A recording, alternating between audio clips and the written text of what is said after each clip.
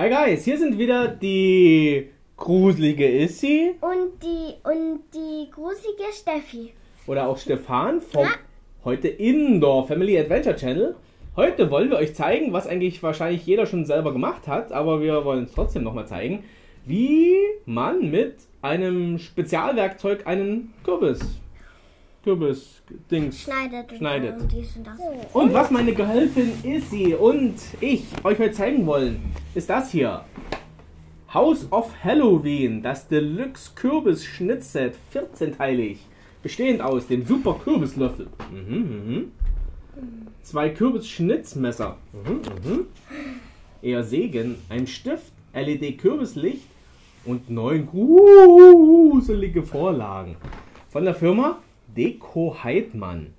Ja, das haben wir im Supermarkt gefunden und dachten, äh, schauen wir es uns mal an, zeigen es euch mal. Ähm, sonst haben wir das immer freihand gemacht, irgendwelche Gesichter auf den Kürbis gemalt und dann ausgeschnitten. Dachten wir, gehen wir diesmal professionell an die Sache ran. Oh Mann, Mann!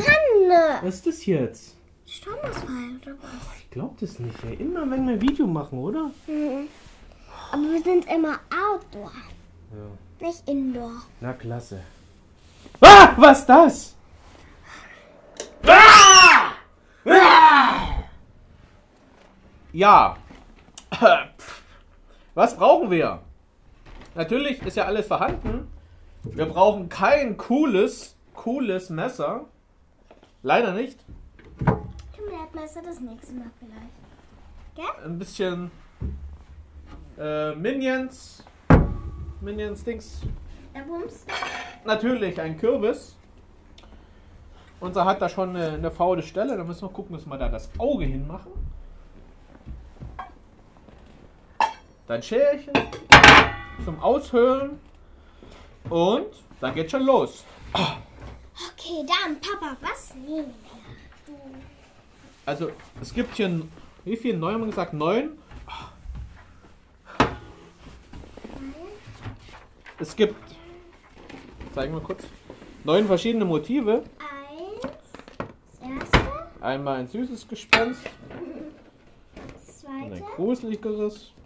Das ist kein Gespenst. Kannst du mal umblättern? Das ist so schwierig.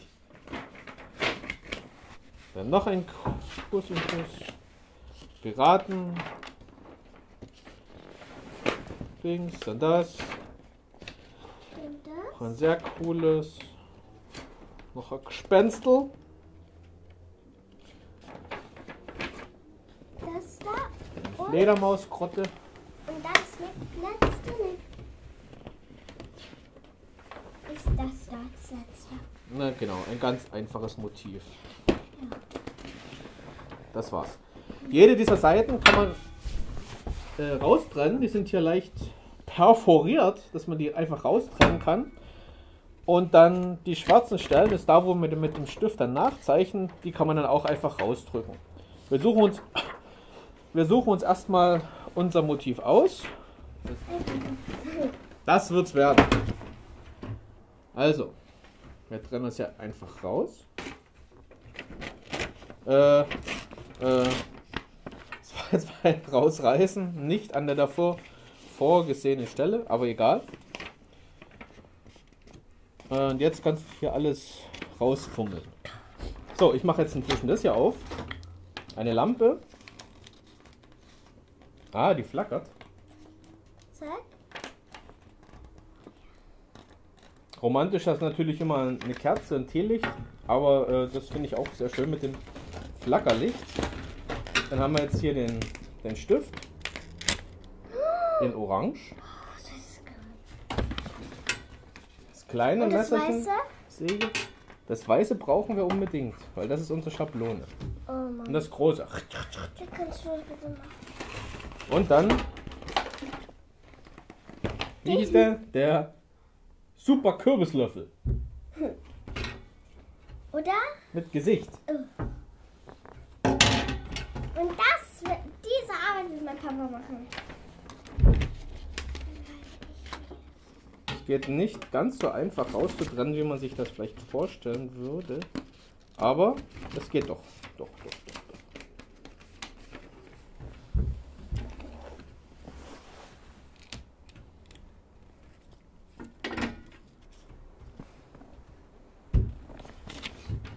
So, jetzt haben wir den ausgeschnitten. Hier ist einmal ein bisschen gerissen. Da wir uns erstmal den kleinen vornehmen. Laut Anleitung nehmen wir das große Messer, große Säge, um oben jetzt ein Loch reinzumachen. Das male ich mir kurz vor, ungefähr. Ist das orange? Ja, das ist orange. So. Wie eine kleine Stichsäge geht das sehr schön.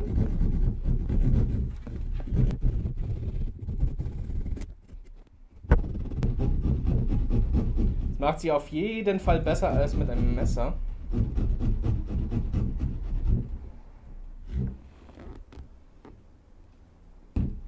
Und da holen wir das Gehirn raus.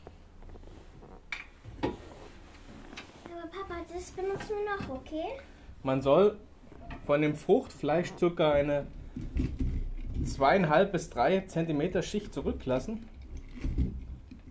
Und äh, diese Zacken hier wie bei einer Nudel, beim Nudellöffel, mit denen kann man schön jetzt diese ganzen kleinen Fädchen da rausholen. Und das andere? Papa? Und den anderen Schnodder. Das ist also der super Kürbislöffel. Zum Aushöhlen. Ja, geht. Hat der da oben auch kleine, kleine Säge? Zähnchen dran. Zack. Wo denn? Ja? Hm. Dass man da schön da drin jetzt höhlen könnte.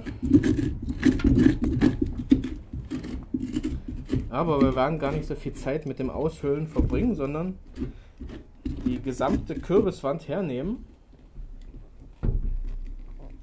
und daraus dann schnitzen. Wenn man den aushöhlt, kann man das Fruchtfleisch natürlich clever und lecker zu einer Kürbissuppe ummodeln, beziehungsweise sich daraus kochen. Aber die hatten wir schon. Jetzt ähm, wollen wir nur noch einen Kürbis haben. Ein Kürbisgesicht. Man kann natürlich jetzt auch andere kreative Sachen mit dem ausgehöhlten Zeug machen. Das könnte zum Beispiel Erbrochenes sein oder Gehirnmasse, die man irgendwo raushängen lässt. Aber wir folgen mal einfach der Anleitung. Jetzt haben wir hier eine ziemlich dicke Wand, was hoffentlich auch dazu führt, dass der Kürbis dann nicht so schnell austrocknet und einfällt. Und wenn er doch mal ähm, austrocknet, soll man ihn in Wasser stellen, hat mir meine Tochter beigebracht. Ein Eimer mit Wasser über Nacht, dass er sich wieder voll saugen kann. Und Sieht er wie morgen wie neu aus. Fast Genau, genau. Also. So, jetzt gucken wir, wie wir den, das, unser Gesicht hier am besten drauflegen. So, jetzt malen wir hier die. Kannst du das halten bitte? Also ich halten, du malst? Nein. Jetzt malen wir da die Konturen nach.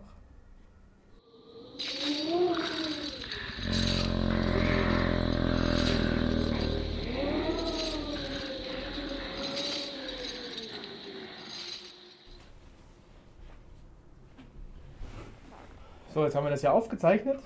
Und jetzt nehmen wir das kleinere Messerchen, Schrägstrich Säge, und schneiden jetzt alles aus. Oh, und das auch macht sich wunderbar. Das ist auch ein, ein Wundermesser, Strich, Säge. Ja, ich habe das Problem mit dem Messer immer, dass, egal wie dünn das ist, man nie so schön um die Kurven kommt. Aber mit dieser kleinen Säge hier geht das, Strich, Punkt, Messer auch. geht das wunderbar. Thank you.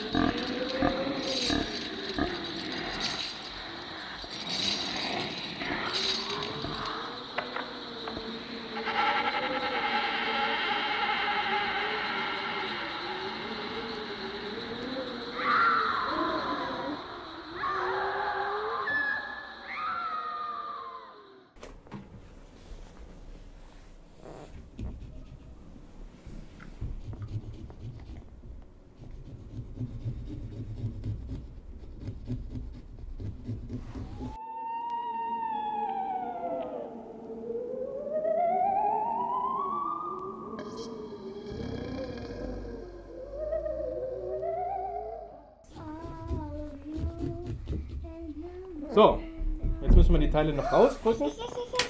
Ich. Ich. So von innen. Von innen nach außen, ja. You have to put it ein bisschen oben.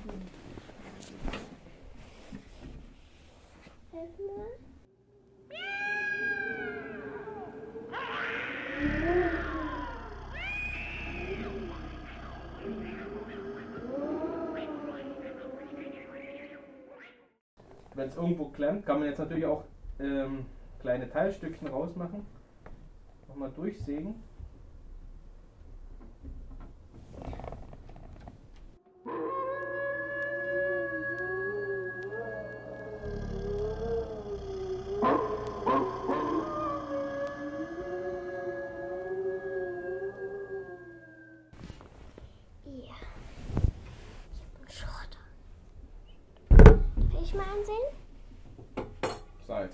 Nochmal die, innen die Fäden ein bisschen raus, rausmachen.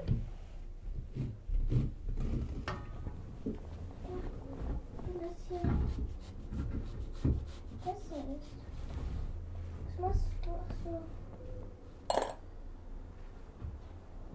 Licht aus. Erstmal eins. Du setzt jetzt das ein. Warte.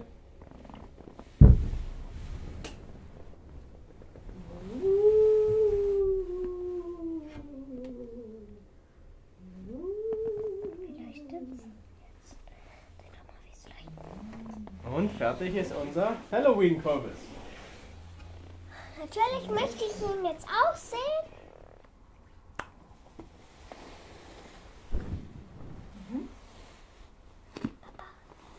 Ja, das war's. Wir hoffen, es hat euch gefallen, auch wenn es halt jetzt nichts sonderlich äh, Besonderes war. Aber ich kann sagen, dieses, dieses Set hat sich gelohnt. Was hat es eigentlich gekostet? 12,99 Euro. Ja, ist schon grenzwertig, aber gerade diese, diese Schneide, Schneidetools, dieses, diese kleine Minisäge, finde ich top und allein den Preis schon fast wert. Ja, das, das Kerzenflackerlicht sieht auch cool aus. Ähm, von uns, äh, oder von mir zumindest, ein Daumen hoch. Wir haben jetzt in kurzer Zeit das hier geschnitzt. Das war super, fand ich gut. Und jetzt kann ich die Isabel auffressen und dann die Kürbissuppe machen. Macht's gut, bis zum nächsten Mal. Ciao, ciao, sagt der. Wenn was? Äh, Stefan.